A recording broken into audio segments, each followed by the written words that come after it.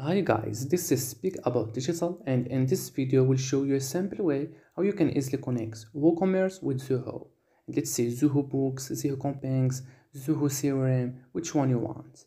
Like Zoho CRM and as you can see, like create an object. So this is like an easy and short tutorial. What you want to do is just scroll down below on this video to the description and click on the link.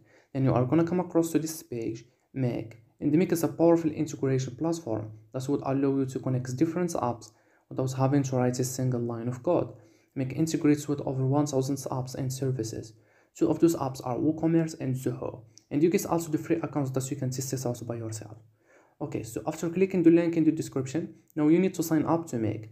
It's easy as just filling these forms, or you can also sign up using your Google accounts, your Facebook accounts, your GitHub accounts.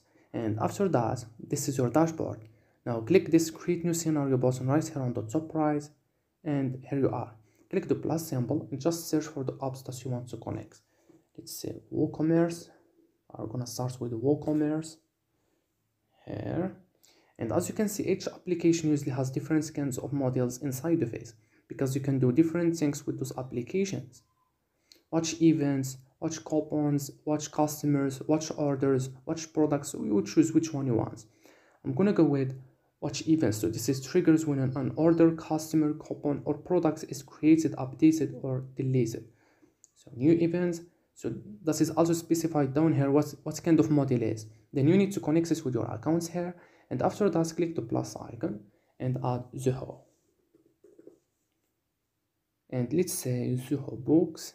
And as you can see, create a contacts, list contacts, create a contacts person. And let's say it's Zoho I'm gonna add Zoho let's say Zoho CRM list objects create an object so you would choose which one you want.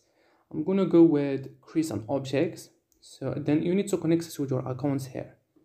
On the bottom left you can easily run this once and test this out. On the bottom you can save it. Over here you find templates. I find this a really cool place to get some inspiration of what is possible for example, over here, I could search by an app. I could say, okay, give me all the templates that contain Zoho CRM module. Down here, we see all kinds of things that are possible.